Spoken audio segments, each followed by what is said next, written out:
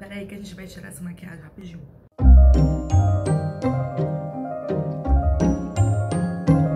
Eu acho que vocês vão escutar obras, porque a minha vizinha está fazendo obras.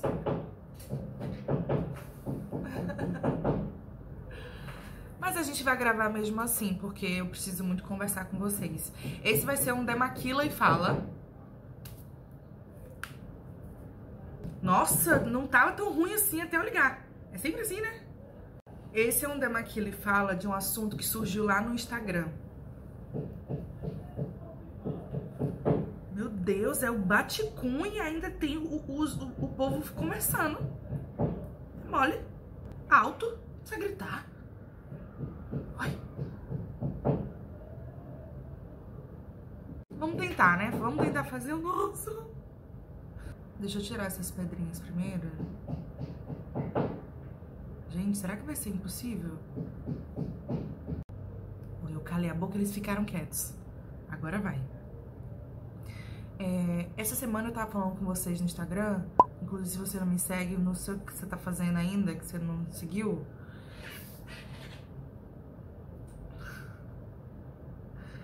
Até você tá me fazendo barulho, negocinho do cheirinho aqui de casa.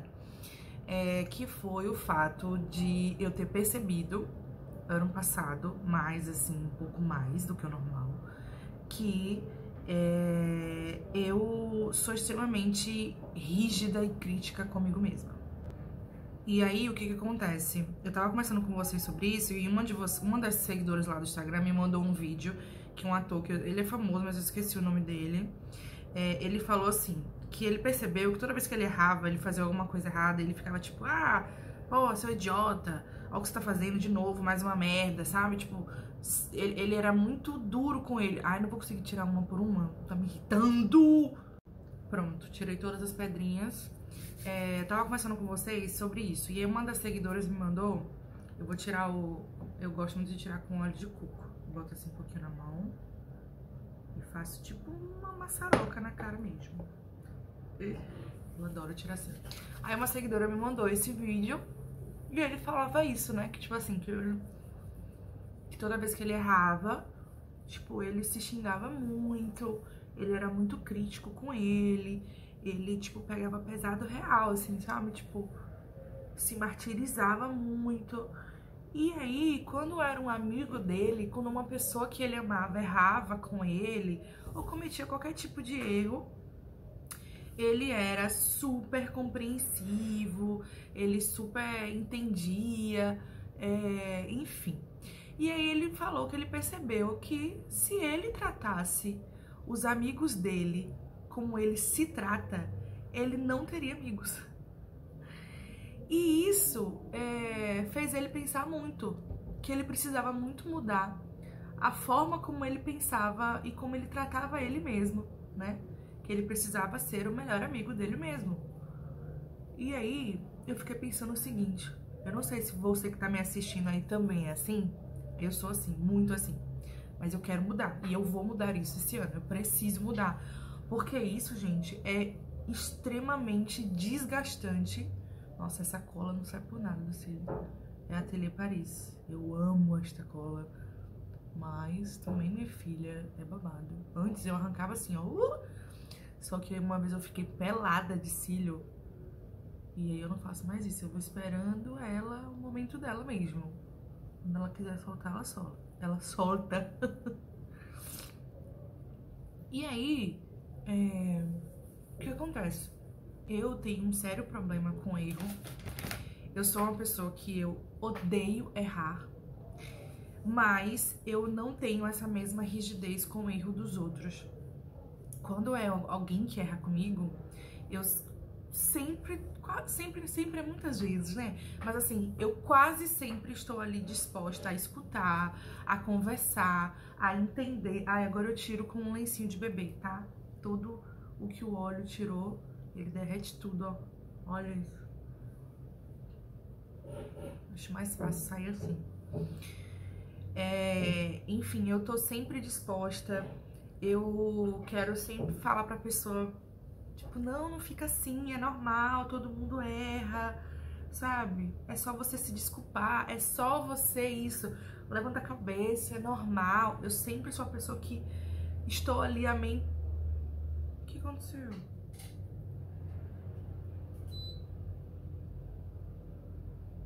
Caiu energia do nada. Peraí. A luz? Caiu energia. Até a TV caiu. Que viagem da porra. Do nada. E aí, eu sou essa pessoa, entendeu? Que tô sempre ali tentando entender o outro e amenizando e não querendo que o outro se sinta mal, falando que errar é muito comum, é muito normal. Meu amor, quando sou eu que erro, acabou o mundo. Primeiro que eu fico, tipo assim, uma semana muito mal. Muito mal, tipo, muito mal, gente. É o fim do mundo pra mim.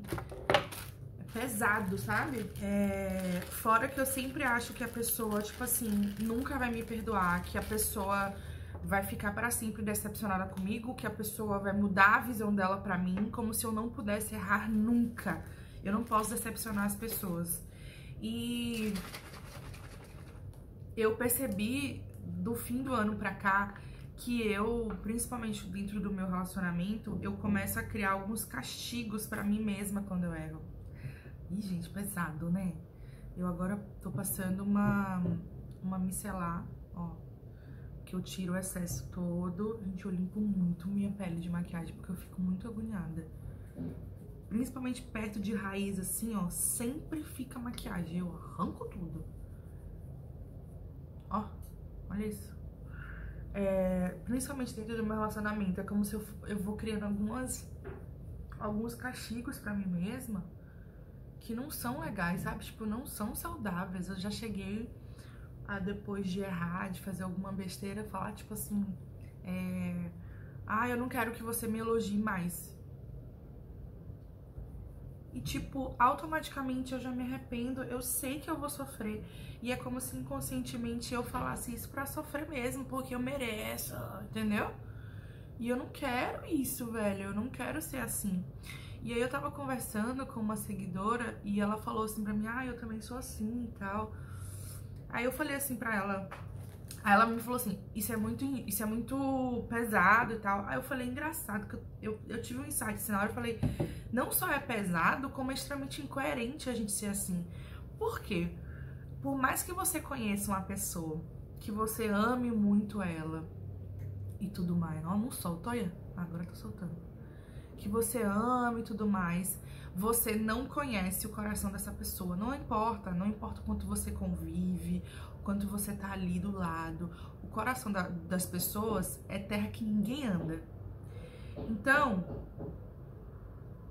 é, pensando desse jeito, a única pessoa do mundo que você conhece o coração, que você conhece 100% da intenção, 100% do que, sabe, do que tá sentindo, é você mesmo. Então, se tem uma pessoa que tem como ter o seu perdão, a sua compaixão, a sua paciência, o seu amor, entender que não teve intenção, sabe? É você mesma. Mas não, a gente consegue é, acreditar no outro, a gente consegue acreditar na melhora do outro, a gente quer facilitar a vida do outro, mas a nossa não. E isso é muito errado com a gente mesma. Tipo, muito errado, velho. Quando eu me dei conta disso ontem, eu fiquei muito chateada, muito mesmo. Tipo, por mim, sou eu que conheço o meu coração. Se eu erro com meu namorado, se eu erro com minha amiga, se eu erro com, minha, com a minha mãe, eu sei que no meu coração eu não queria fazer isso, que eu não quero magoar essas pessoas, que eu amo essas pessoas. Então, por que, que eu não consigo me, me, me perdoar sabendo do meu coração, sabendo das minhas intenções e consigo perdoar facilmente outra pessoa. Que eu não sei o que estava na cabeça dela quando ela fez aquilo, que eu não sei as reais motivações dela. Tipo, é incoerente a forma como as pessoas tratam a si mesmas, sabe? A grande maioria das pessoas trata muito melhor quem tá do lado do que quem tá aqui dentro. Ó, maquiagem de base, essas coisas, não tá mais saindo tanto. Tem mais rímel, tá vendo agora? Mas mesmo assim. então, assim, uma das metas que eu quero muito para 2022 é justamente isso. Tratar quem tá aqui dentro com a mesma consideração, amor e carinho que eu trato quem tá de fora.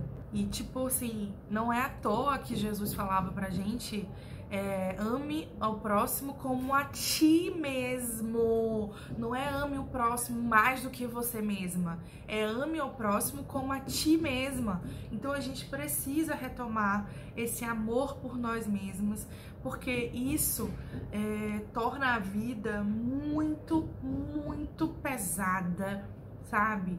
O fardo fica muito pesado e não é justo com a gente. Não é justo.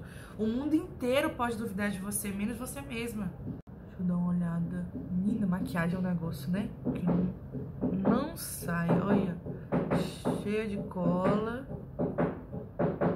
Estamos sapateando aí agora. Gente, e tipo assim, eu não consigo deixar. Ah, tô com preguiça, depois eu tiro. Eu não consigo gosto de deixar resíduo de nada. Aqui em Salvador a gente chama assim, não sei como é que chama aí. Mas nasceu tipo um grão de milho aqui, ó. Nesse cantinho do meu olho. Que eu tô muito agoniada, eu quero na dermato tirar. Porque sim fica parecendo com a remelinha. Odeio isso! E não é. É um. É um. Um troço, ó. Não sai. Ai. Não arranca a cara igual eu tô fazendo, não. Vou usar uma máscara aqui hoje tem milênios que eu não uso máscaras. Essa daqui é Plumping Sheet, Sheet Mask com vitamina E. Vamos lá. E aí, basicamente é isso, sabe? É... Eu, eu percebi que eu tenho essa tendência muito grande a entender o problema de todo mundo, menos os meus. E isso faz com que eu torne a vida de todo mundo muito fácil e a minha é sempre muito difícil. Eu nem sei se isso aqui tá prestando, porque eu tenho essa máscara há milhões de anos. Gente, como vocês vão me levar a sério assim, eu não sei, mas eu vou continuar o vídeo assim.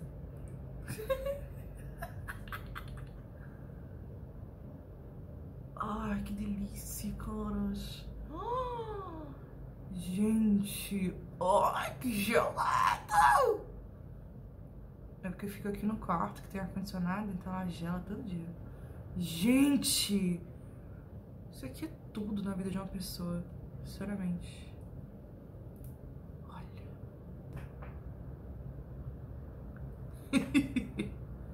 Ai, o nariz, o nariz.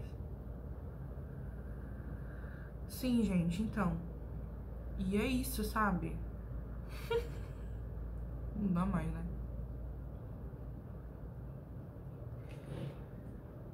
Isso aqui pode usar de novo? Não sei. Acho que não, né? Aqui tá escrito repulpante. Repulpante? O que, que é repulpante? Não sei. E é isso, gente. Tipo, eu só queria... Não sei se vocês vão conseguir me levar a sério assim agora. Mas eu só queria dar, é porque eu vou botar máscara e eu quero deitar um pouquinho pra relaxar. Porque isso é outra coisa também que eu quero muito pra 2022. Eu quero estar presente nos momentos. Eu quero estar... Tá, eu quero ficar menos acelerada, sabe? Eu quero estar tá aqui vivendo a máscara. E parar os 10 minutos, 15 que ela pede. E realmente viver o processo. E não tipo... Ai, eu tô batendo máscara, então agora eu vou resolver... Eu, enquanto isso eu vou resolver um cliente. Enquanto isso eu vou... Não! Não! Não precisa de pressa, sabe? Não precisa de pressa eu tenho várias questões emocionais que, eu, que foram muito pesadas para mim em 2021. Eu tive muitas crises de ansiedade. Quando minha ansiedade bate, eu não sou, eu não tenho aquela ansiedade de parar em hospital, nada disso. Mas eu tenho muita ânsia de vômito, eu fico com taquicardia, é muito ruim. E ano passado eu tive um sintoma novo que me assustou muito, que foi é, da, da dormência na, na boca, que isso aqui tudo, na mão, no braço, sabe? Parecia que eu tava me infartando, foi muito ruim. E eu não quero mais viver assim, sabe? E eu sei que isso também tem muito a ver com a forma como eu lido comigo mesma, com o que eu penso de mim mesma. com a dureza que eu levo algumas coisas que eu que acontecem comigo ou decisões que eu tomo, as coisas que dão errado. Eu tendo a colocar muito peso nisso e eu não quero, não, e eu não quero que você também faça isso mais. Então, meu pedido para vocês nesse capa do corpo, beleza da alma, né? Estamos revivendo praticamente esse caso, esse quadro. É que você é, viva o seu presente naquele momento, sabe? Que você desacelere em 2022 e que você aprenda de coração a tratar você mesma assim como você trata a pessoa que você mais ama na sua vida. Então, se é sua mãe, se é sua amiga, se é seu namorado, veja como você trata essa pessoa. Porque eu super mimo o Rafael. Eu tô sempre mimando ele, eu gosto de dar carinho, eu penso nele, eu quero comprar coisas para ele, eu quero que ele fique feliz. É... Então eu, eu tenho que tra me tratar assim também, caramba, sabe? Eu não sou descartável, eu não sou qualquer coisa. Você não é descartável, você não é qualquer pessoa. Você é importante, você é necessária. E ainda que você se sinta só, faça isso por você. Porque no fim das contas, tá todo mundo sozinho mesmo.